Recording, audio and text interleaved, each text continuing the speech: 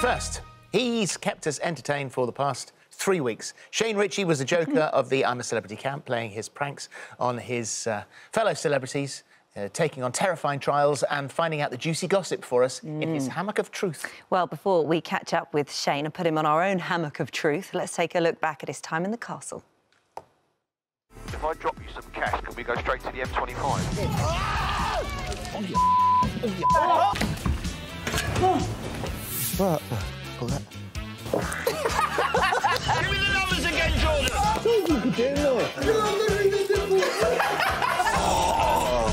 Wow. I can't look at the snakes. Right, right, right, right. Is it all gone? Oh, Hope so. Are you Mr. McDonald to pull a pint? I believe I am, Mr. Moon. We've got my manager to ask for more money. All for one! Ah!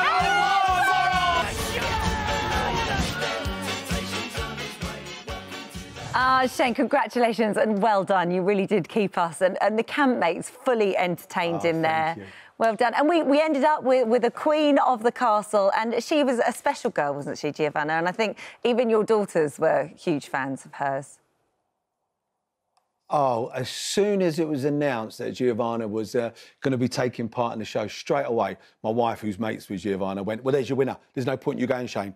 Uh, and even my daughters. Oh, and she's such a great role model as well, I think, to young girls and mums. And, uh, and she, she had such a big heart.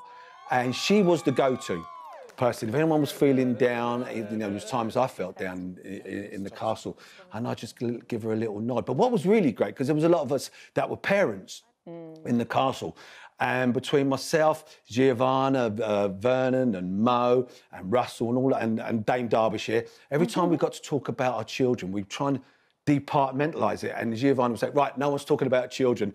And sometimes we go, yeah, but I miss my children. and Giovanna was great at saying, right, no one's talking about children.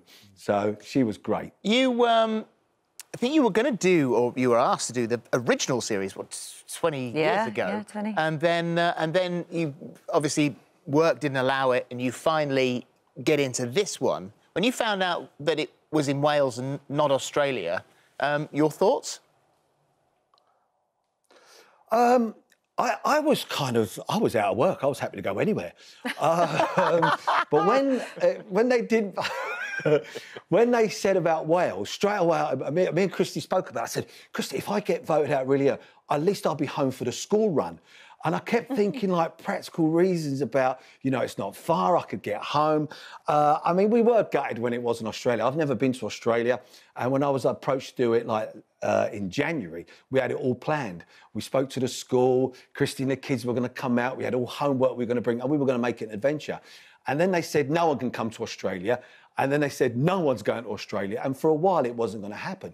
And then I'd heard it might be a little island off the coast of Spain, the Balearic or one, one of the islands there. And then they said Scotland. And then I thought, oh, this is coming to the UK. And when ITV announced that we had a phone call about Wales, I was just so made up. And the fact, seriously, for like, the fact that they asked me to do this show, I felt I'd already won. I thought, you know, of all the people that wanted to do it, certainly this year being the 20th anniversary, and people in my industry, of course, being out of work, um, the fact that they asked me, I thought, okay, I'm going to do it because there'll come a time when I'll stop getting asked to do it. So it felt really special, and to turn up and uh, on the first day, it was it's an incredible experience, and it's even Yeah. hard now because I've only been back a couple of days to put into words of what it was like a, a sleepover for three weeks with 11 strangers. Well, you've come back, I mean, shrunk. How much weight have you lost? Because a lot of people are saying, oh, they're eating so much in there, it's much easier this year.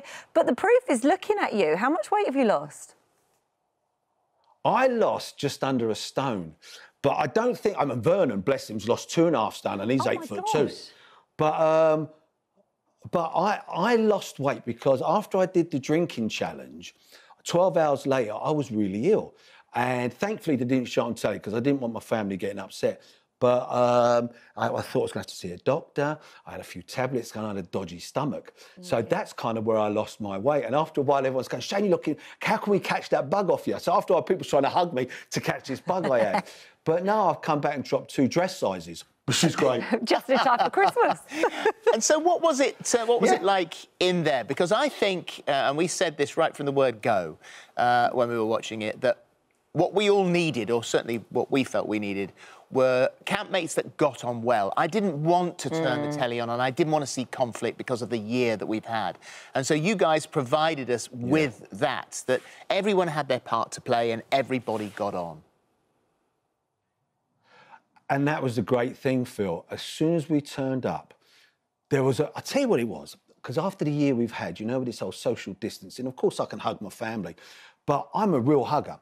I'm very tactile, you know, male or female. I love hugging people and, and just being close to people. And when we got in there, the first thing, because we'd all been in the uh, isolating for two weeks before we actually went in the castle, and as soon as we saw, saw each other, we, we just all wanted to just get into, uh, into just, just keep hugging each other. And every time we went out to do trials or challenges, we were reminded what was happening in the outside world. And ITV, I've got to give them every credit. Every member of that staff, from the exec producers to security, they kept the distance and it felt really strange. We was only reminded then when we went to the, the challenges or the trials what was going on.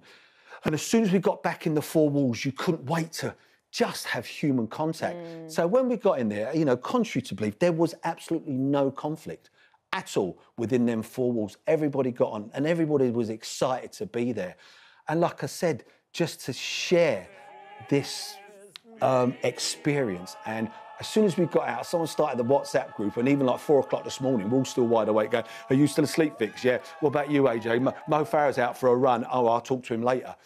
So, and we're all meeting up soon. I don't want to say too much You, about it, but you we're all meeting mentioned um, you mentioned AJ there because uh, there, there was Yeah. and, and these things can often come out of absolutely nowhere, come out of an edit. Um, that, that that you when you looked at that story once you got out, it wasn't something that you recognised. No, not at all. And AJ's gone on record to say the same as well. I saw it and I went, but that didn't happen. You know, there was certain little, there were certain things we had so much fun because I'm, I'm, my wife will tell you I'm quite lazy around the house. If I wash a cup, it's like there you go, and just put She it on told the side. us and she'll that, go, "Oi, actually." get that cup washed. Right, yeah, and so um, and so AJ, you know, he's so clean, and he was one of the cleanest in the castle. He always made sure things were sparkling clean, and we kind of put him on a pedestal. If anything, he'd be like, AJ, are you all right with that? Yes, mate, I'll do it. So when I saw that conflict, it kind of made no sense whatsoever. It kind of didn't happen, you know. And already, um, you know, I speak to AJ. He's going to be touring next year with his brother, and we spoke about. it, And I'm saying, right, AJ, can I come along and get up on stage with you?